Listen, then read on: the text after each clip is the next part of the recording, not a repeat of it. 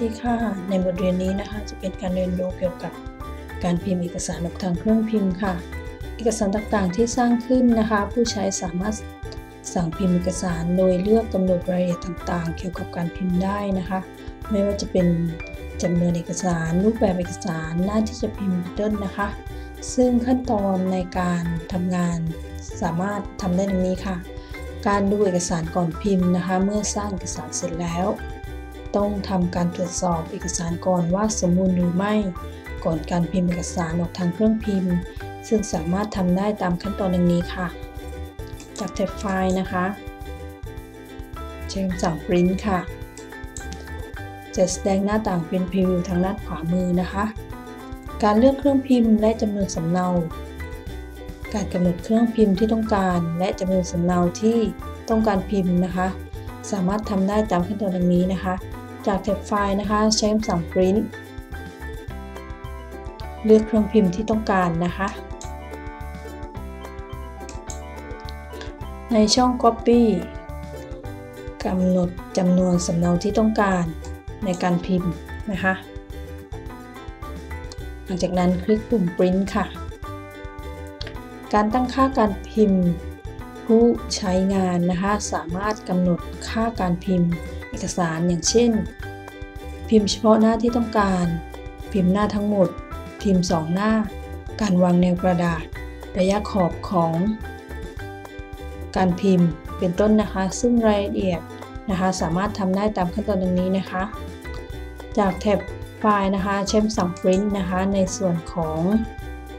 setting หรือว่าการตั้งค่านะคะ สามารถตั้งค่าการพิมพ์ได้ดังนี้ค่ะ การกำหนด การพิมพ์นะคะว่าต้องการพิมพ์กี่หน้านะคะสามารถกำหนดได้ตามรายละเอียดดังนี้นะคะ print on page นะคะ พิมพ์เอกสารออกทางเครื่องพิมพ์หมดทุกหน้า print selection พิมพ์เฉพาะเนื้อหาที่เลือก print current page พิมพ์เฉพาะหน้าปัจจุบัน custom print เป็นการกำหนด ช่วงหน้าหรือส่วนที่ต้องการพิมพ์ อย่างเช่น หน้า 4 ถึงหน้า 6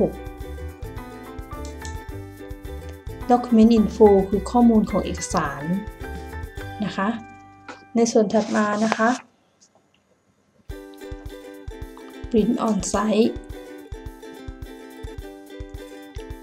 เป็นการพิมพ์ลงบนกระดาษ ด้านเดียวนะคะของกระดาษ ถ้า print on print on board side five page on long edge นะคะ คือการพิมพ์ทั้งสองหน้าของกระดาษนะคะ โดยพลิกหน้าในด้านแนวยาวนะคะ print on board side